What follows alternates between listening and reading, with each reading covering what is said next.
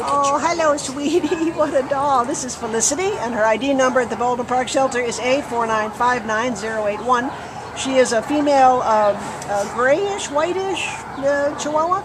She's uh, she's a senior. She's about eight years old and came in as a stray on June 9th out of Hacienda Heights, and she only weighs a little under seven pounds.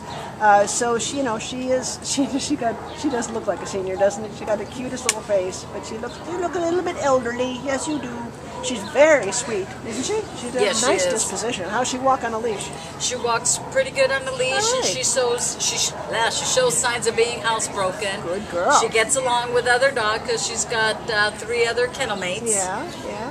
Oh, she's nice. She's a nice dog. But you know, because she's a senior, she's going to have a harder time here. Uh, they don't let they don't give them as much time. She's in great. She's in jeopardy uh, at the shelter because they're so crowded, and uh, and she's a senior. So um, if this is your kind of uh, dog and you're, you're you're willing to put in an effort to save a dog like this, she sure she sure would use it, and I, I'll bet she'd be grateful. She's the kind of dog that's going to know she was rescued.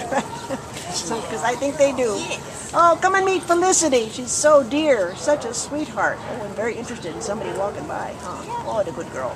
Please come and meet Felicity at the Baldwin Park Shelter. Bye, honey.